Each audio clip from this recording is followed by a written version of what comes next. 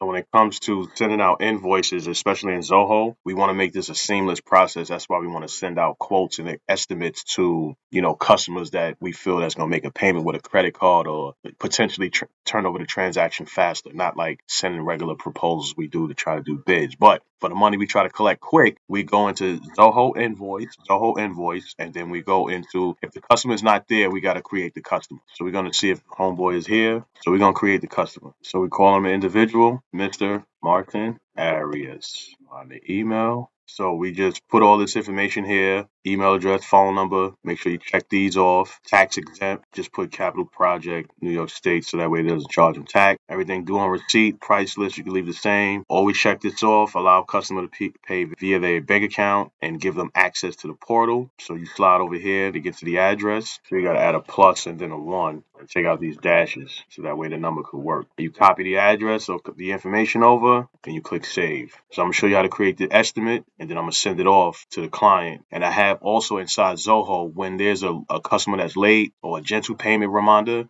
you're going to get the email. The email is going to come to you. It's going to say, hey, follow up with clients. So that way you'll know what clients haven't paid yet. You know what I'm saying? So we're going to create a new estimate because he wants a camera system. And we're going to call this camera system upgrade. We're going to have this expire, let's say, give him a week, two weeks. If there's a name, you can put that. I usually put the same thing I'm putting here, right here in the subject line. So now here we have to add the material. So now we got to go to the website and then we just select the product. We're going to right click on this and and we're gonna save the image as whatever that save that to your hard drive right? Then we're gonna copy this copy all of this. We're gonna go back to zoho. We're gonna add we're just gonna paste that in there. Then we're gonna add the new item. So what i like to do is just take out some of this information something like that. And then we just call this nvr8 give it a SKU number any kind of just make up something. So now we uploaded that image so we have to put pieces because for each piece is going to be 1099.88. So here, the description, then I'll recopy all of that information I just copied. Non-taxable, uh, you know, service item we could put and click save. You could actually put any exemption reason. I just don't want to be filling shit out. That's all. So next, we know we need wire. So like I said, I only want one line item. I don't want a bunch of lines showing him how much things are. So we're going to go to the calculator.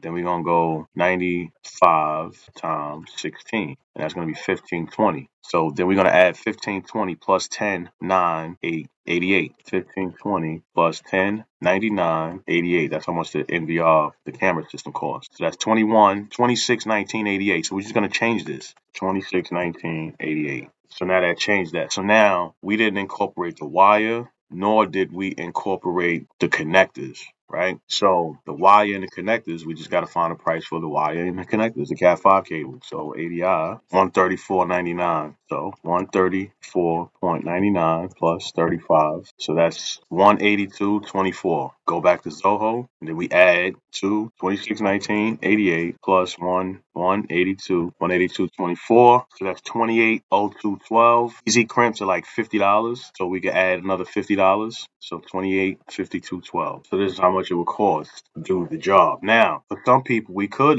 put cameras, you know, like wire, connectors, labor. We could do that, but I don't want to break it up. I want him to know for this whole entire thing, this is how much it's going to cost you for both of us to come in and do it. So this is all pretty much set. All we got to do here now is just make sure we tell him that he has to pay 50% right here. So right here in the customer note, uh, we let him know that he has to pay a 50% deposit. And then we check this off. So when we click save and send, it's going to ask us to sign it. Then it's going to ask us, do we want to email it? We say yes and just email it out. But Zoho will now track the progress, you know what I mean, for this for this invoice automatically. We don't have to keep following up. And then it's going to send us an alert. So that way we could just be like, oh, now we need to follow up. You know what I'm saying? So that's how we keep these things going. So we save and send. We're going to approve and sign. We're going to enable the signature. Then all we do Actually, I'm gonna put we're gonna CC instead of info. I'm gonna just put you. I'm gonna always forward you to all these estimates and whatnot, or you can just forward them to yourself. So, and then we send it. Now it's sent. So he will get it on his side, approve it, then we will come back and then convert it into an invoice. He'll make the payment, we'll order the equipment, go there and do the work. Bang, bang, bang. So now he has this invoice. That's how you create a customer, create an invoice or estimate inside of Zoho Invoice. So this is what we're going to be using when we're sending out uh, payments to clients to get quick payments, our reoccurring customers, customers who's paying monthly, bi-weekly, stuff like that, people who we collecting money on a daily basis with, not big projects. All right, so that's how we're using this. So if you have any questions, let me know.